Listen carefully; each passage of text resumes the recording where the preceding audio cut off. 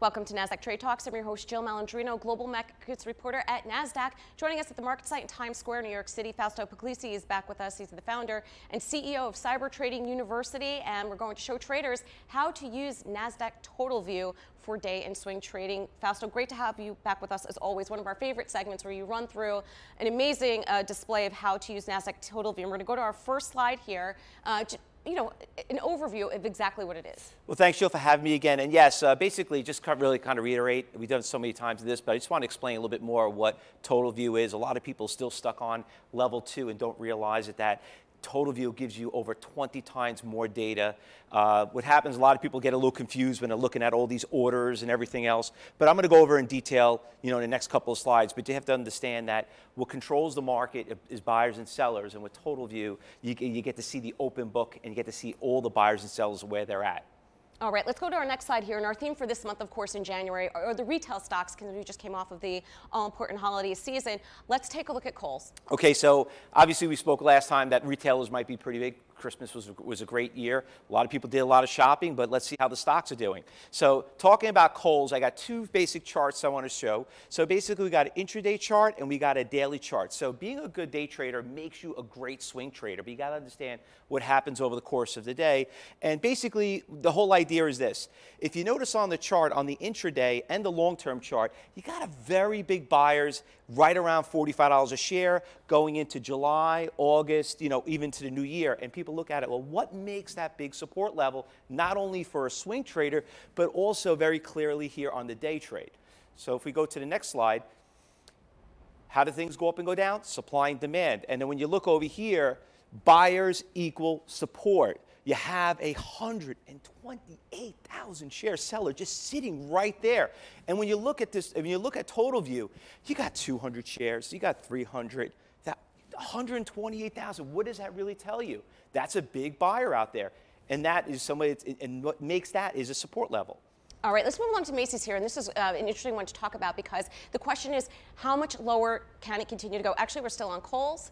All right, uh, there we go. There's Macy's. Okay. But that's the big question. How much lower can Macy's go? Um, if you look at it from a fundamental perspective, you could have a daily chart, a weekly chart to get your different time frames. But at the end of the day, it's going to come back to where the supply is sitting. Exactly, because there's always going to be buyers and sellers everywhere. So when you look at Macy's right here, you could see it's trending down. So the first thing people always ask, they panic, where are you know, where the buyers are.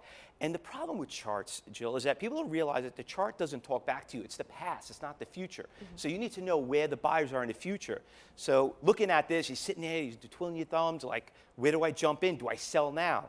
Well, the only thing you have to do, you have to check out on total view. All right, and we can see that on our next slide here, exactly where that supply is. Now, this is a great, a great shot that I got. I mean, look at this. 322,000 shares at 1758. You're not even looking at a chart. Right there, you'll notice buyers everywhere. The biggest buyer right now is looking to buy 3,800 shares at 1785.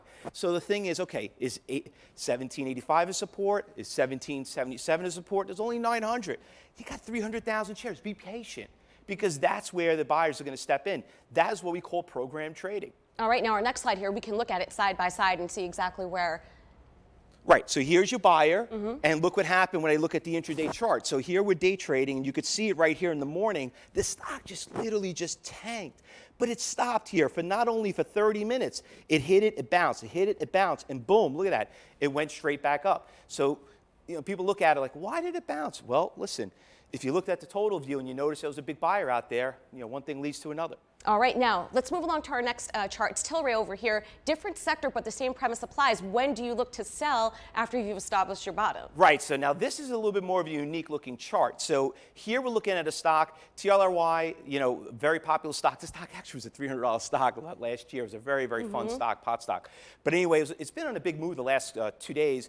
Yesterday we were trading it, and the whole idea is this. The stock is trending up, nice little trend, 17 to 1960. So if you look over here, uh, what is your game plan? You got to look for sellers because listen, it's a nice profit from 1760 to 1960. But the question is, how much higher could it go? You want to have that game plan. So we change the slide here.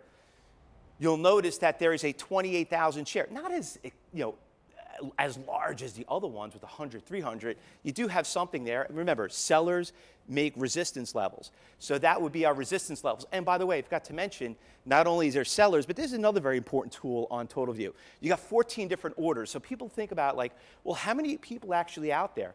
Mm-hmm. That's why the orders are very important because you get to get an idea of how many, uh, how many of them out there that make up that 28,000. All right, now let's move on to our last slide here on Tilray. We can see again the sell orders and exactly how the chart. Right, so out. here's the same stock, it's the same stock for the day.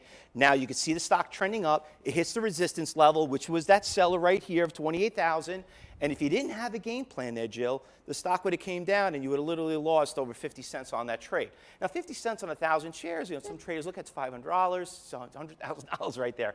But the goal is having that game plan. All right, let's go along to our next slide here because you brought up orders before and you hear this all the time. It's fake orders, they're spoofing, and you know, these are just moving the bid and the ask around. How do you answer that question? Okay, so now the question is, well, if you look at TLRY, well, is it really going down? I mean, listen, sellers, it, it, total view you can use it two different ways. Not only see sellers out there, but remember, seller makes resistance. But when you see a resistance levels, someone could buy that 28,000, right? Someone said, you know what? I need, I need that stock. Oh my God, I don't need 100, I need, I need 28,000. So first of all, there's no such thing as fake orders. They're all real. But the thing is, how do we know that order got executed? And there's something called check the tape, which is called the time and sales window, which a lot of traders neglect and don't realize it because that's where a lot of the, uh, the data from a chart gets its, its data from. All right. And our last chart here, we can actually take a, a, look at that and see where the execution occurred. Right. So here's that stock that we looked earlier. This is, this is TLRY. We saw it hit that 28,000 share seller and it backed off.